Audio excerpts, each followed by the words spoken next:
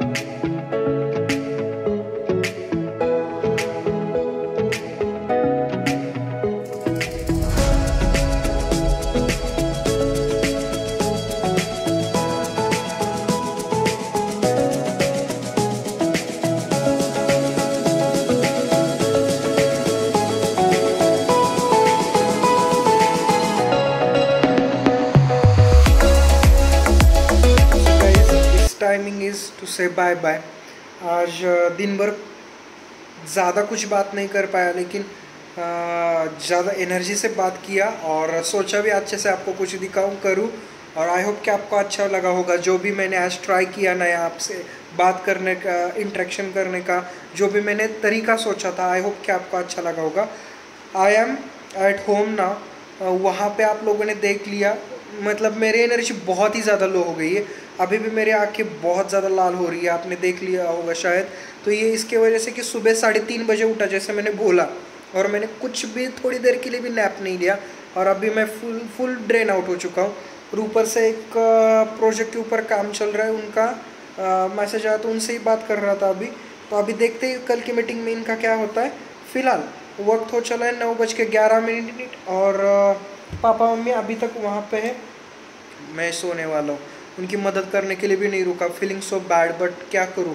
Be I am just totally finish तो अगर आपने ये व्लॉग यहाँ तक देख लिया for what's reason please like कर देना, नहीं हो तो सब्सक्राइब कर देना। मिलते हैं अगले व्लॉग में। Till then be happy stay smiling and always keep living watching PC vlogs शायद अगर ये मीटिंग अच्छी सी हो गई ना तो आपको कुछ देखने को मिलेगा। बाय